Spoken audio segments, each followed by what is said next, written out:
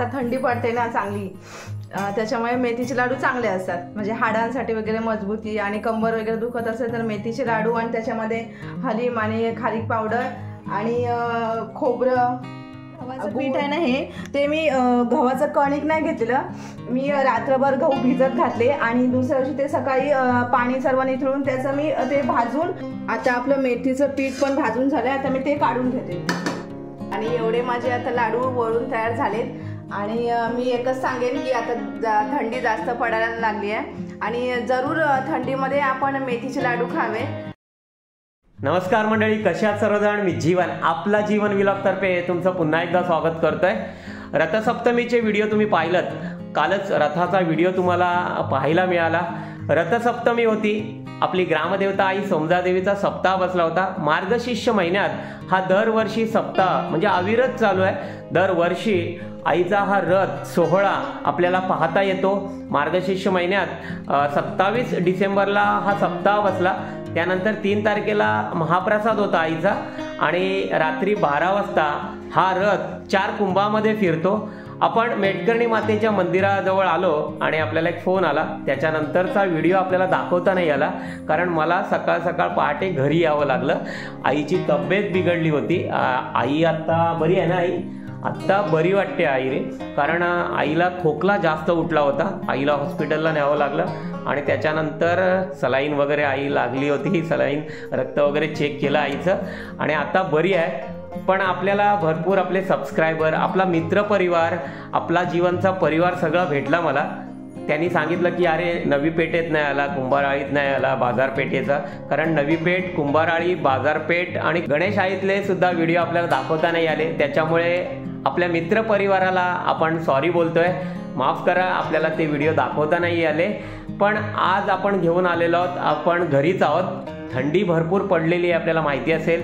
त्याच्यामुळे निकिता घरीच आज एक नवीन रेसिपी बनवते. नवीन म्हणजे आम्ही दरवर्षी ते बनवतो पण आपल्याला सुद्धा दाखवतोय. ते म्हणजे थंडीतले मेथीचे लाडू.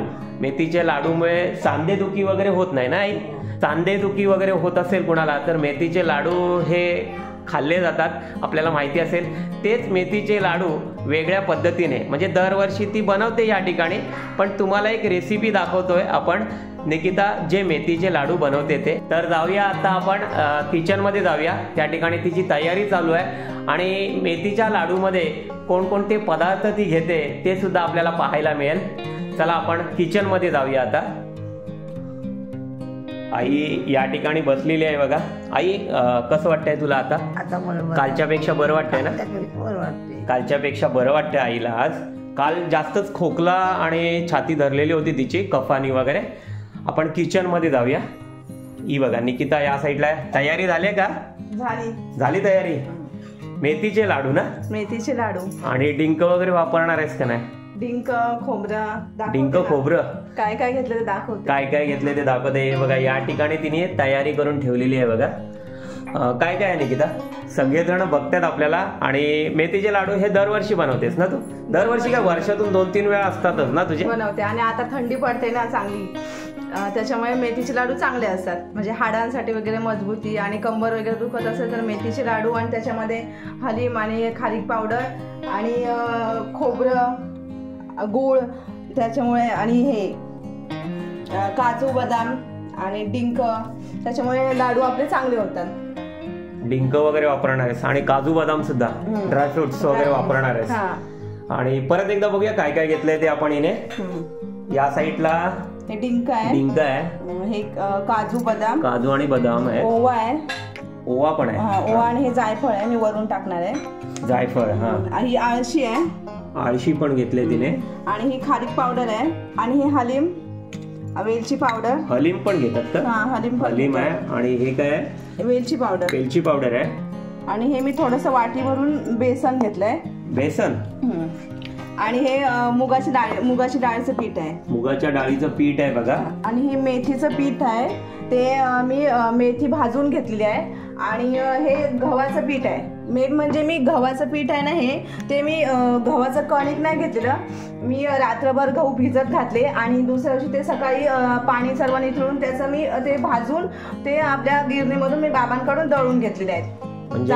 हे गहू रात्रीचे भिजत ठेवलेले. रात्रीचे मी भिजत ठेवले रात्रभर. आणि ते सुकवलेस नाही सुकवले नाही. मी त्याच्यात त्याच्यातलं पाणी सर्व एक तासभर असं काढून घेतलं. निचरवून घेतलं. आणि भाजून मी हे बाबांकडनं आणि त्यानंतर निचरवल्यानंतर गहू भाजलेस भाजले. बघा गहू भाजले आणि त्याच्यानंतर हे पीठ तिने गव्हाचं काढलेलं आहे ना? थोडं जाडसर ठेवलंस ना? एकदम पीठ नाही करायचं ना? एकदम पीठ नाही करायचं. कारण तू सांगत होतीस बाबांना तेव्हा मी ऐकलं की पीठ बघा हे मी दाखवतो तुम्हाला.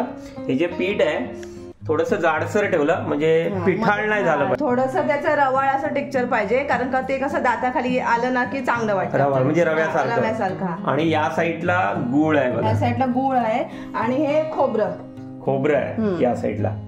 खोबरं किसून तो भाजलंच नाही काही भाजलं नाही. मी आता भाजणार आहे. भाजणार आहेस? मी थोडस उन्हात थोडस असं त्याला अ, सुकवून घेतलं. कारण का ते सुक्या खोबऱ्याला वास वगैरे येतो ना.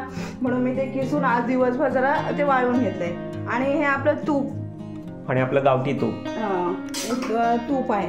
गावठी तूप घेतलेलं आहे. ते तूप मी आता मला लागेल तसं मी आता यूज करणार आता आहे. प्रथम काय करणार आहेस तू? मी आधी पहिल्यांदा मी आधी खोबरं भाजून घेणार आहे. खोबरं भाजून घेते. चला आपण आता हिची रेसिपी बघूया मेथीच्या लाडूची.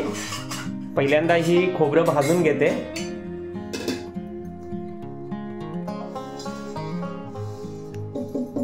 किती वेळ भाजायचं खोबरं? नाही खोबरं थोडस असं लालसर असं थोडस तांबूस दिसलं की बस करायचं. खोबरं थोडस भाजून घ्यायचं थोडं लालसर करायचं. थोडस असं तांबूस होईपर्यंत भाजायचं. कारण का मग ते आपले लाडू आहेत ना हे ते आपले एक ते दोन महिने टिकणार आहेत. आणि मग ते लाडूच्या खोबऱ्यामध्ये वास नको म्हणून थोडस आपण भाजून घेतो लाडू. खोबरं. आणि हे दोन महिने तरी टिकतात ना? हा दोन महिने तर टिकतात. कधी कधी आपल्याला पाहायला मिळतं बघा ते जास्त वेळ टिकत नाहीत ना मेथीचे लाडू वगैरे असे ओलसर खोबऱ्यामुळे वगैरे. हा आणि आणि खोबऱ्याचा कधी कधी वास पण येतो ना काही लाडू हा. आणि काही जण दुधामध्ये मेथी भिजवून ठेवतात रात्रभर किंवा एक दोन दिवस. मग त्याच्यामुळे पण म्हणजे लाडू जास्त दिवस टिकत नाही. दुधामधले. बघा काही जण पीठ भिजत ठेवतात ना दुधामध्ये वगैरे. दोन दिवस वगैरे दोन दिवस किंवा एक रात्रभर ते मेथीचं पीठ आहे ना ते भिजत पण ठेवतात ते लाडू आपल्याला लाडू ते कडू नाही लागत त्याचा कडवटपणा निघून जातो आणि मग ते मेथीचा लाडू खाल्ल्यानंतर तोंडात थोडीशी पण ते आठवडाभरात संपवावे लागतात ना आठवडाभर किंवा पंधरा दिवसात पंधरा. दिवसात संपवावे लागतात पण पण आपण जे करतोय ते आता दोन महिने टिकतील असे आहेत ना टिकतील. बघा तुम्ही पण बघा ही रेसिपी बघा आणि हे साहित्य सुद्धा पुन्हा एकदा बघा. आता ही कढईत खोबरं हे लालसर असं करून घेते बघा. थोडं लालसर रंग आलाय ना? हा थोडा आलाय रंग आता. चला हिचं खोबरं भाजणं चालू आहे. एकदम पण नाही भाजायचं थोडासा वास गेला पण. आता हे माझं खोबरं भाजून झालंय मी आता काढून घेते त्याला.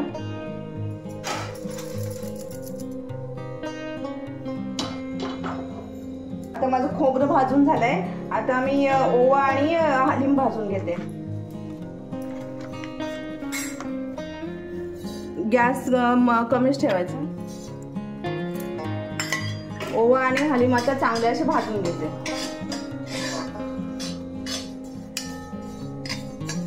हे लाडू असतात ना आपले मेथीचे ते नुकतंच ज्यांची डिलेवरी झालेली असते त्यांना सुद्धा चांगले असतात मेथीचे लाडू.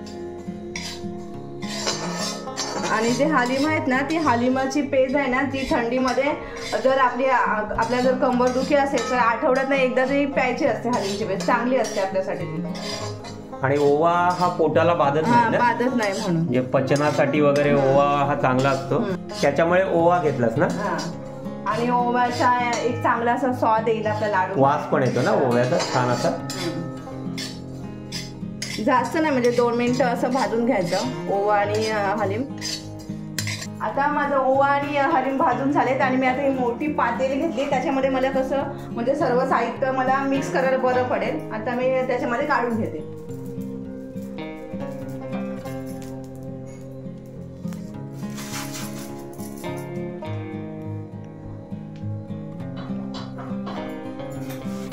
ओवा आणि हलीम भाजल्याच्या नंतर मी आता आळशी भाजून घेते.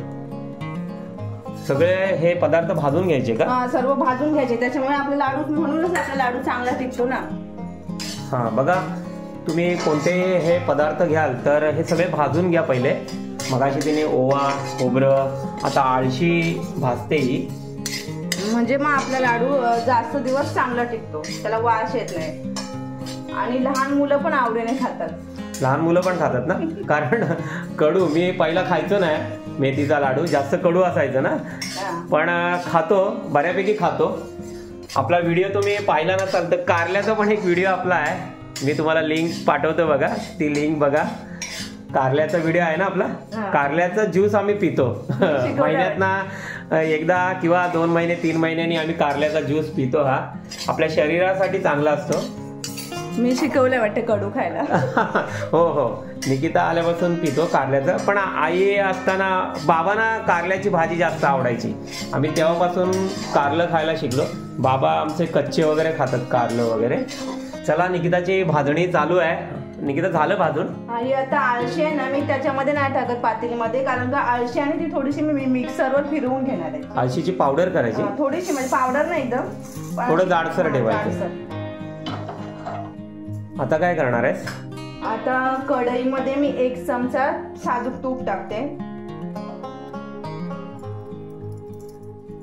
आणि त्याच्यामध्ये आता बदाम आणि काजू मी भाजून घेणार आहे.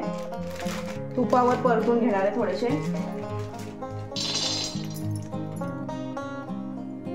आधी थोडे बदाम लालसर करून घ्यायचे. आणि मग नंतर मी काजू टाकणार आहे. थोडे आधी बद बदाम भाजून घेते. आता थोडे बदाम लालसर झालेत ना आता काजू टाकते त्याच्यामध्ये.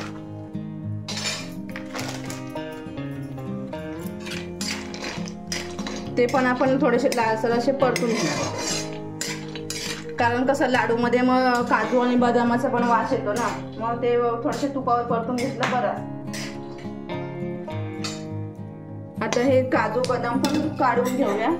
काढून घेते ना ते पण मी मिक्सरवर थोडेसे जाडसर असे पूड बनवून घेणार आहे त्याची. एकदम पण नाही कारण का काजू बदाम आपल्या दाताखाली आले ना की लाडू आपल्या खायला चांगला लागतो.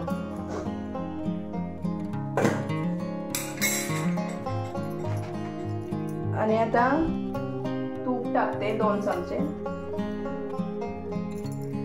आणि मी आता डिंक तुपावर फुलवून घेणार आहे. आणि डिंक आहे ना तो सर्व एकदम नाही टाकायचा लाडूमध्ये. कधी पण फुलवायला तो थोडा थोडासा टाकायचा. कारण एकदम टाकला ना की तो सर्व त्याचा पूर्ण अशी एकदम असा तो एक चिकटतो आणि त्याची लादी पूर्ण तयार होतो. मग आपल्याला ते फोडण्यासाठी जड येतं. म्हणून थोडं थोडंसं फुलून घेते.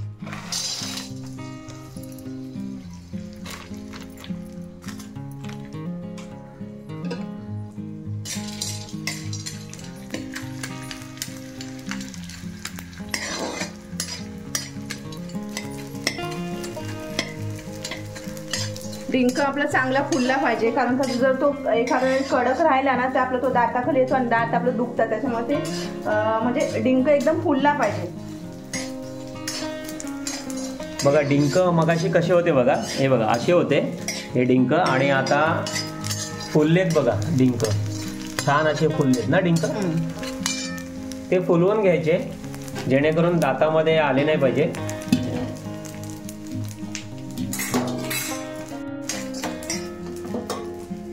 आता फुललेला डिंक एका परातीमध्ये काढून घेते. आणि दुसरा टाकणार डिंक झालाय फुलवून. तो आता थोडंसं थंड करायचं ठेवते कारण का तो मी आता एका वाटीने असं चुरून घेणार आहे. आणि आता परत तूप टाकूया. तूप टाकते. दोन चमचे तूप. आणि ही मी खारीक पावडर करून घेतली आहे. ती खारीक पावडर मी खारीक पावडर पण तुपावर परतून घेते.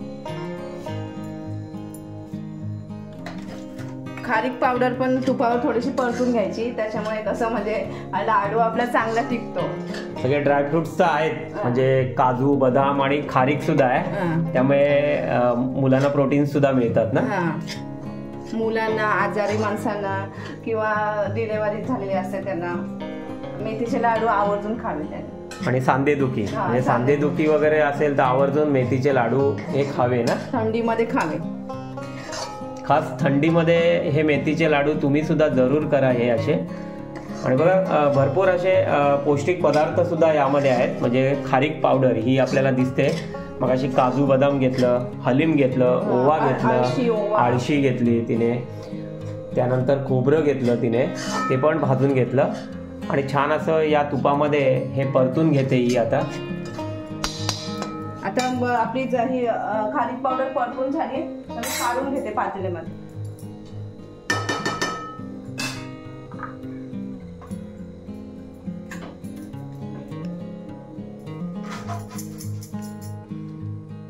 या मोठ्या टोपामध्ये सगळं मिक्स करणार आहेस ना ते? हा मोठा काय घेतलाय? म्हणजे मला मिक्स करायला बरं पडेल. म्हणजे सगळे आणि, अ, साहित्य याच्यामध्ये mix करणार आहेस. एकत्र आणि कुठे सांडणार नाही त्याच्यामुळे मोठंच घेतलंय. या मोठ्या टोपामध्ये ती मिक्स करणार आहे. आणि आता काय करते बघूया. काय घेतलंस आता? मी थोडीशी खसखस घेतली आहे. ती माझ्याकडनं मागाशी चुकून राहिलेली. आणि मग ती पण मी आता परतून घेतली. खसखस? हा ती पण मी आता पातेल्यामध्ये टाकते. बघा खसखस पण घेतले तिने.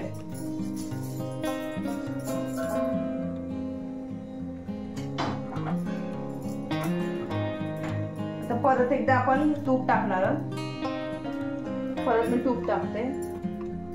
दोन चमचे. तूप टाकलंय आणि आता बेसन पहिल्यांदा भाजून घेणार आहे. बेसन भाजते. बेसन असं लाल रंग येईपर्यंत भाजून घ्यायचं.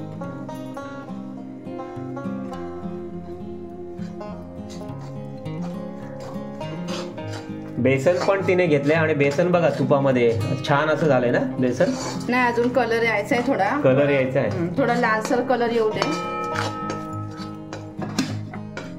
मेथीच्या लाडू मध्ये बेसन घेतात ना? हा कोण कोण घेतात मेथीच्या लाडू मध्ये आणि आपल्याला आपल्या आवडीनुसार आहे. आपल्याला घ्यायचं असेल तर घ्यायचं. पण एक चांगली अशी चव येते त्याच्यामध्ये.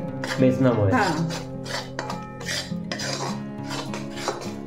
आणि हे काय करणार आहेस तू आता? हे पण थोडं हे बेसन थोडं लालसर झालं ना की मी मुगाच्या डाळीचं पीठ पण थोडं लालसर भाजूनच घेणार आहे. त्याच्यामध्येच टाकणार आहे. मिक्स करणार आहे मिक्स करणार आहे. बघा या ठिकाणी तिने मुगाच्या डाळीचं पीठ सुद्धा घेतलेलं आहे. ते याच्यामध्येच मिक्स करणार आहे. हा ह्याच्यामध्येच मिक्स करणार आहे. कारण सर्व आपल्याला एकदम मिक्सच करायचं आहे सगळंच एकजीव करायचं आहे ना? पण आता हे मुगाची डाळीचं पीठ आणि बेसनाचं पीठ एकत्र भाजून घेणार आहे पहिल्यांदा.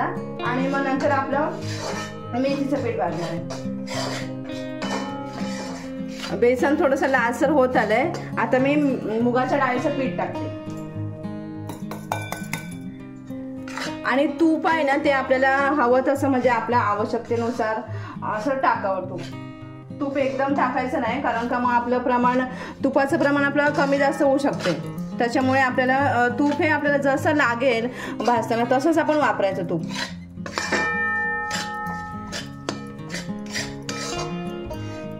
छान दिसतंय ना मस्त असा कलर आलाय. थोडं लालसर होत चाललंय ना आता? हा लालसर होत चाललंय. बेसन आणि मुगाच्या डाळीचं पीठ. ते असं भाजून झालंय. आता मी भाजून? हा झालंय. लालसर झालं ना थोडं. आता बेसन आणि मुगाच्या डाळीचं पीठ भाजून झालंय ते मी आता काढून घेते.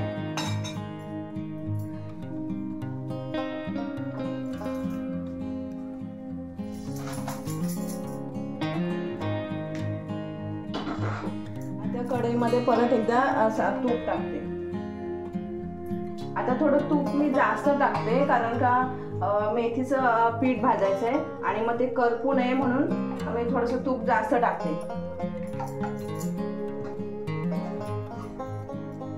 आता हे मेथीचं पीठ घेतेस ना? हा हे मेथीचं पीठ. ते पण आता चांगलं पाच पाच सात मिनिटं चांगलं भाजून घ्यायचं खरं. हे सुद्धा लालसर करायचं. लालसर नाही म्हणजे असं थोडस वास यायला लागलं लागेपर्यंत भाजून घ्यायचं. खरपूस असं भाजून घ्यायचं. मेथी आहे ना ती पहिल्यांदा मी थोडीफार भाजून घेतली. कारण का जर मेथी आपण एकदमच भाजून घेतली ना तर मग मेथी एकदम कडू लागते. त्याच्यामुळे पीठ आहे ना ते थोडं पाच सात मिनिटं थोडं तुपावर चांगलं भाजायचं. म्हणजे हे पीठ करण्याच्या आधी तू मेथी भाजून घेतलीस. हा भाजून घेतली. थोडीशी भाजून घेतलीस. आणि त्याच्यानंतर मग अ, पी- अ, हे मेथीचं पीठ केलंस. हा हा. आणि हे जास्त पीठ नाही ठेवायचं ना? नाही नाही थोडस रवा थोडस रवा ठेवायचं आहे बघा. आणि जसं आपल्याला लागेल तसं आपण तूप टाकायचं आहे तुम्ही गिरणीमध्ये वगैरे दळत असाल तर गिरणीवाल्याला सांगायचं ना. की थोडस रव्यासारखं ठेवा म्हणून. गव्हाचं आणि ह्याचं सुद्धा ना. आपण हे घरगुती दळतो कारण घरामध्ये आपल्या गिरण आहे घरगुती गिरण आहे. त्याच्यामुळे बाबा हे गहू वगैरे तांदूळ वगैरे दळत असतात. त्याच्यामुळे निकिता सांगत असताना मी ऐकलं की थोडीशी जाडसर ठेवा म्हणून. कारण का ते जे पीठ पीठ केलं ना ते एकदम असं पिठा पिठासारखं लाडू. लाडू पिठासारखा लागतो हा असं. आणि मग रव्यासारखं म्हणजे रवाळ असेल ना तर मग ते दाताखाली पण आपल्या म्हणजे जिभेवर पण चांगली चवटी रेंगाळत राहते.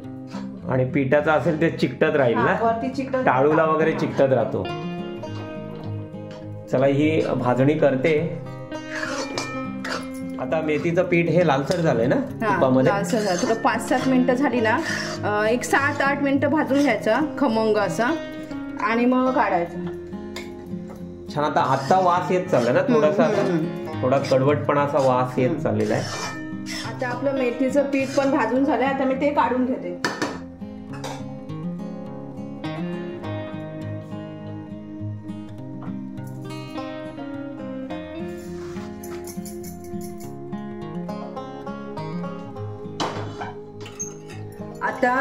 गव्हाचं पीठ जे मी रात्रभर गहू रात्रभर भिजत ठेवून त्याचं सकाळी भाजून ते पीठ केलेलं आहे ते मी आता भाजून घेणार आहे. पीठ म्हणजे रवाळ पीठ. हा रवाळ पीठ. हा. आणि गहू मी रात्रभर भिजवून का घेते? कारण का त्याच्यामुळे लाडू आहे ना तो चांगला फुलतो. म्हणजे गहू चांगले फुलतात ना ते भिजल्यानंतर. आणि मग लाडू पण खायला म्हणजे चांगला लागतो तो. बघा हिने गहू भिजत ठेवले होते. पुन्हा एकदा सांगतो. रात्रभर भिजत ठेवले आणि दुसऱ्या दिवशी ते भाजलेस ना? हा सकाळी भाजले. कढईमध्ये भाजलेस आणि काढून भाजलं आणि मग ते दळून घेतलं. त्याच्यानंतर दळून घेतलंस आणि थोडं जाडसर ठेवलंस ना? हा जाडसर. हे बघा हे जाडसर ठेवलेलं आहे तिने. असं पीठ नाही केलेलं आहे. हे केव्हा शिकलीस तू? म्हणजे जाडसर वगैरे ठेवायचं. आणि मेथीचे लाडू तुला यायचे का? म्हणजे लग्नाच्या आधी वगैरे? लग्नाच्या आधी नाही जेव्हा भार्गवी झाली ना. भार्गवी म्हणजे, हा त्याच्यानंतर आपण भरपूर वेळा खाल्लेले आहेत मेथीचे लाडू वगैरे. आणि मग हळूहळू हळूहळू म्हणजे जर हे काय असं केलं तर आपला हा लाडू चांगला लागेल असं असं करत करत मी आता हे मग मी बघूया तर खरं आपण एक रात्रभर. नवीन नवीन हे. करून सगळं चला. ही भाजते पण लग्नानंतर म्हणजे मीच शिकवलेलं आहे. नाही. नाही नाही. मी नाही शिकवलेलं आहे. बघा मी नाही शिकवलेलं आहे कारण का लग्न झाल्यानंतर मी जास्त रेसिपी काहीच बनवत नाही आहे आणि आता निकिता हे गव्हाचं पीठ गव्हाचं हा, थोडं थोडं करून भाजून घेते. थोडं थोडं भाजते.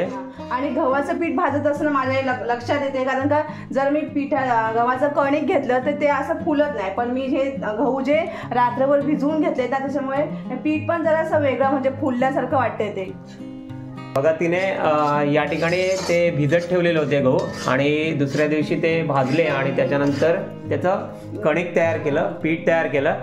आपण सुद्धा वेगवेगळ्या पद्धतीने मेथीचे लाडू बनवत असाल तर जर जरूर मला आवर्जून काही चुकलं असेल तर मला सांगा त्याच्यामध्ये काय. कमेंट्स करा आपल्या सुद्धा. आपल्या सुद्धा कमेंट्स आवश्यक आहेत. आपल्याला हे लाडू कसे वाटत आहेत आणि आपण बनवत असाल तर ते सुद्धा नवीन पद्धत कमेंट्स करून सांगा. हा ना निकिता? हा. सगळ्यांच्या कमेंट्स आवश्यकता आहेत आणि कमेंट्स करून नवीन नवीन पद्धत तुमच्या सुद्धा आम्हाला सांगा. आणि आता आपली झालंय भाजून? पीठ- गव्हाचं पीठ पण भाजून झालंय. आणि मगाशी मी आळशी भाजून घेतली होती. ती मी मिक्सरमध्ये वाटून घेतली थोडीशी आणि ड्रायफ्रुट्स पण थोडे थोडेसे असं जाडसर वाटून घेतले. हे मिक्सर मधनं काढले. बघा आता हिने थोड्या वेळापूर्वी हे मिक्सर मधनं पण काढून घेतले. ड्रायफ्रूट भाजलेले. आणि आळशी सुद्धा ना? हा. ते पण आता ह्याच्यामध्ये मिक्स करायला टाकते. सगळं मिक्स बघा कसा कलर दिसतो आपल्याला. मिक्सिंगचा कलर आणि हे आणि डिंक आता आहे. डिंक हा. डिंक मी आता मिक्सरमध्ये लावून नाही घेणार आहे कारण का त्याची बारीक पूड नको व्हायला. कारण आपला डिंक जो अं, लाडू खाताना दाताखाली आला तर तो चांगलं वाटतं एकदम असं म्हणजे फुसफुशीतपणा. त्याच्यामुळे मी खुसखुशीतपणा लागतो आपल्याला. हा बघा डिंक. त्याच्यामुळे मी डिंक आता याच्याने थोडं थोडं फक्त त्याला बारीक करून घेते. जेणेकरून आपल्याला लाडूमध्ये डिंक चांगला वाटेल.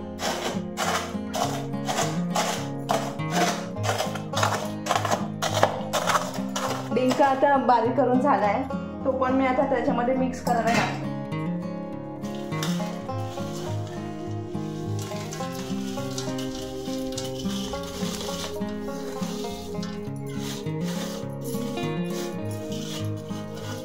आता हे मी मगाशी जे पहिलंच खोबरं भाजून घेतलं ते मी आता हाताने चुरून असं टाकणार आहे त्याच्यामध्ये.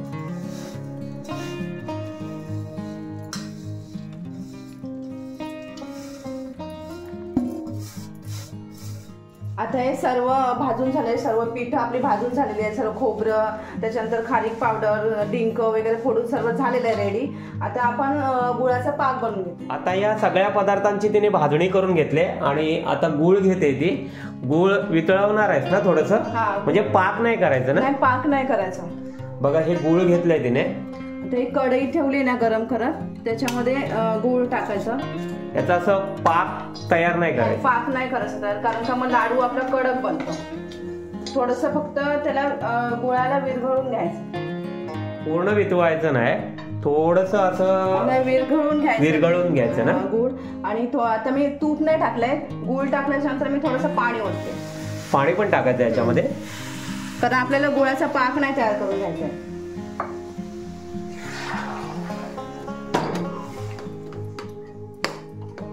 आता गूळ आपलं पूर्ण वितळलंय. आणि मी आता दोन चमचे त्याच्यामध्ये साजूक तूप टाकते. हे बघा पूर्ण वितळवून घेतलं तिने. तूप टाकलंय बघा दोन चमचे. आणि छान असा हा फेस पण आलाय ना? छान आता आपलं हे आता मिश्रण तयार झालंय. आणि मी आता ते आपल्या तयार पिठामध्ये ओतणार आहे. हे गुळाचं वितळून घेतलंच ते याच्यामध्ये टाकणार आहेस ना? यामध्ये ते गुळ जे वितळून घेतलंय ते टाकणार आहे ते. चला आपण ते पण पाहूया. आधी पहिल्यांदा मी हे सर्व मिक्स करून घेते. त्याच्यामध्ये वेलची पण टाकते वेलची पूड टाकते. वेलचीची पावडर पण टाकायची ना? हा वेलची पावडर पण टाकली. आणि आता जायफळ आहे ते थोडंसं टाकते मी. जायफळ.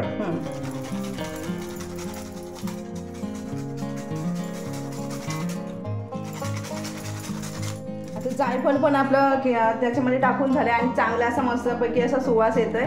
आणि आता हे सर्व मिश्रण आहे ना ते मी एकदा एकत्र करून घेते. कारण आपल्याला गुळाचा पाक त्याच्यामध्ये टाकायचा आहे आणि गॅस मी आता गुळाचा बंद करून घेतलाय कारण का आपल्याला ते पाक नाही तयार करून घ्यायचं आहे फक्त गुळ थोडा वितळवून घ्यायचा. आहे. आता हे सर्व मिश्रण आहे ना ते सर्व मिक्स करून झालंय. आता मी गुळाचा जो पाक तयार केला तो त्याच्यामध्ये ओतते.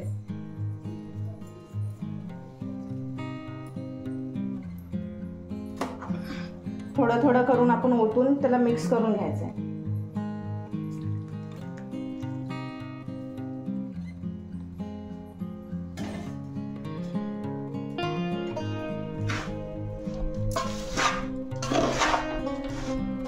आणि मग गुळाचा पाक जर जास्त झाला तर आपला अंदाज पण चुकू शकतो ना?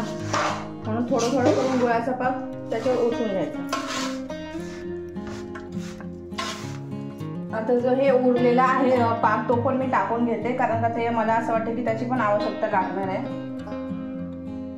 कारण गूळ पण मी लाडूच्या म्हणजे अंदाजानुसार घेतला होता. कारण मेथी आपली जास्त आहे.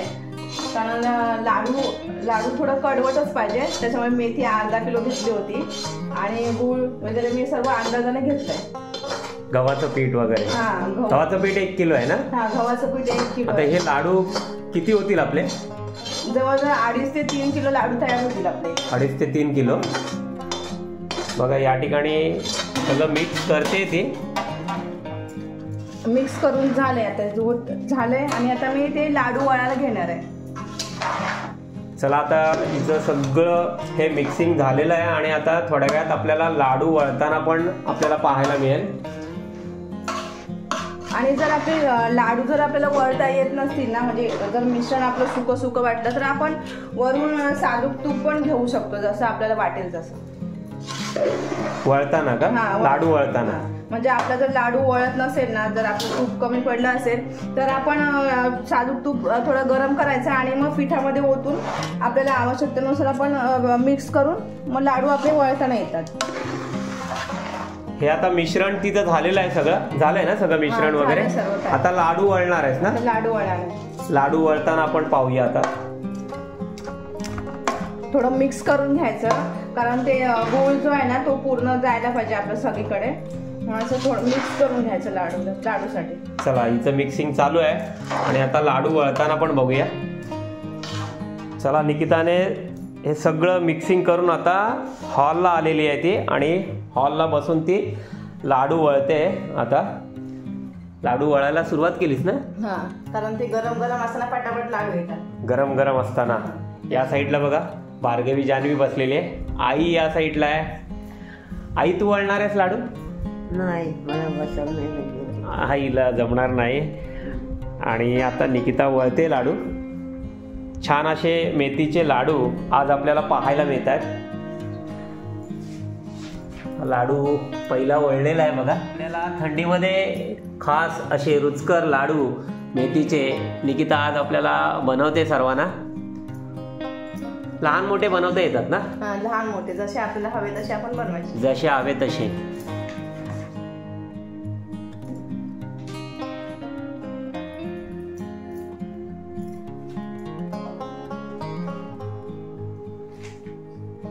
जान्हवी भार्गवी या ठिकाणी बसलेली आहे. काय करताय? अभ्यास चालू आहे. चला जान्हवी भार्गवीचा अभ्यास चालू आहे. बाबा पण आलेत या ठिकाणी. हे बघा. बाबा पण आहेत. बाबा सुद्धा जान्हवी भार्गवीशी जास्त खेळत असतात. चला निकिताचे हे लाडू आपण बघूया वळताना. किती होतील? दोन तीन किलोचे होतील ना तू म्हटलं हा. तीन. ते तीन किलो होतील. अडीच ते तीन किलो. आणि ते लाडू चांगले इकडे जान्हवी काहीतरी कानामध्ये सांगते बाबांना. ती बघा. काहीतरी जान्हवीला पाहिजे असेल. त्याच्यामुळे लाडीगुडी लावते बाबांना ती. काय पाहिजे आई? फोन फोन हा मोबाईल. बघा जान्हवीला बाबांचा मोबाईल पाहिजे. त्याच्यामुळे लाडीगुडी लावते. आजीला फोन पाहिजे वाटते. आजीला? नाही आजी आता हल्ली मोबाईल नाही वापरत ना आई? नाही. नाही नाही. आईला बरं नाही आहे आता आज ती चांगली आहे. म्हणजे तिला आज बरं वाटतंय आईला. आणि खास आईसाठी सुद्धा मेथीचे लाडू आहेत. सांधे दुखी वगैरे. त्यासाठी वगैरे. यांचा. मेथीचा लाडू रोज एक खावा. मेथीचा लाडू दररोज एक खावा ना? जास्त पण नाही खायचं कारण का मेथी गरम असते. हा म्हणजे जास्त प्रमाण नसावं. कोणत्याही पदार्थाचं जास्त प्रमाण नसावंच ना खाताना वगैरे. मला निकिताचे हे लाडू वळणं चालू आहे. हे बघा किती लाडू झालेले आहेत तिचे. बोलता बोलता. कारण का ते मिश्रण गरम असतानाच मेथीचे लाडू पटापट वळता येतात. आणि जसं थंड होईल तसं मग आपण थोडंसं गरम करून घ्यावं कारण का गरम गरम वळायला चांगले येतात.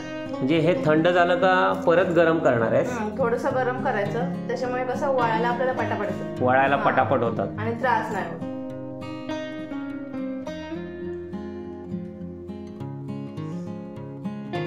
हे बघा किती लाडू वळलेले आहेत ते. आता हळूहळू ही लाडू वळते. आणि एवढे माझे आता लाडू वळून तयार झालेत. आणि मी एकच सांगेन की आता जा- थंडी जास्त पडायला लागली आहे. आणि जरूर थंडीमध्ये आपण मेथीचे लाडू खावे. आणि जरूर तुम्ही पण बनवा आणि कसे होतात ते मला कमेंट्स करून सांगा. जरूर जरूर बनवा. चला निकिता ही लाडू वळते आणि आता थोडा टाइम जाईल ना तुला लाडू वळायला अजून? या ठिकाणी आपल्याला पाहायला मिळालं की निकिताने लाडू बनवताना कोणकोणते पदार्थ घेतले भाजणी कशा पद्धतीने केले ते सुद्धा आपल्याला पाहायला मिळालं. निकिताने सुद्धा सांगितलं आपल्याला की कमेंट्स करा. की जरूर एकदा कमेंट्स करा तुम्ही. तुम्हाला हे लाडू कसे वाटले बनवताना ते. आपल्या कमेंट्स बॉक्समध्ये कमेंट्स करा. चला निकिता लाडू वळते. भरपूर तिने लाडू वळलेले आहेत आता. आणि छान असे मेथीचे लाडू आज आपल्याला खायला सुद्धा मिळणार आहेत. निकिता सुद्धा काहीतरी सांगते आपल्याला. आणि तुम्ही पाहिलंच मी मेथीच्या लाडूमध्ये कोणकोणते साहित्य वापरलं. आणि मी प्रत्येकाला सांगेन की ह्या थंडीमध्ये जरूर आपण मेथीचे लाडू बनवावे कारण आपल्या शरीरासाठी ते चांगले असतात. आणि माझे मेथीचे लाडू कसे वाटले तर मला कमेंट्स करून सांगा. कमेंट्स करा आपल्या कमेंट्स बॉक्समध्ये कमेंट्स करा. आणि आम्ही जाता आता एवढंच सांगतो की आपला जर हा व्हिडिओ आवडला असेल तर आपल्या व्हिडिओला लाईक करा. सबस्क्राईब करा आणि सगळ्यांना शेअर करायला विसरू नका. पुन्हा एकदा सगळ्यांना धन्यवाद. डिंक मी आता मिक्सरमध्ये लावून नाही घेणार आहे कारण का त्याची बारीक पूड नको व्हायला. कारण आपला डिंक जो लाडू खाताना दाताखाली आला तर तो चांगलं वाटतं एकदम असं म्हणजे फुसफुशीतपणा